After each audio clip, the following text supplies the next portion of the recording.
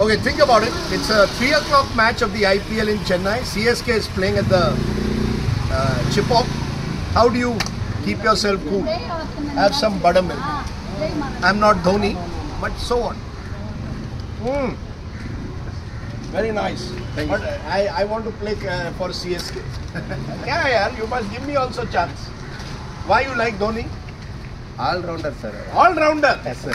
If Dhoni contests election, he'll win. Yes, sir. Huh? Don't you bat a concern in Mandra, sir. All right, okay. Thank you. Enjoy.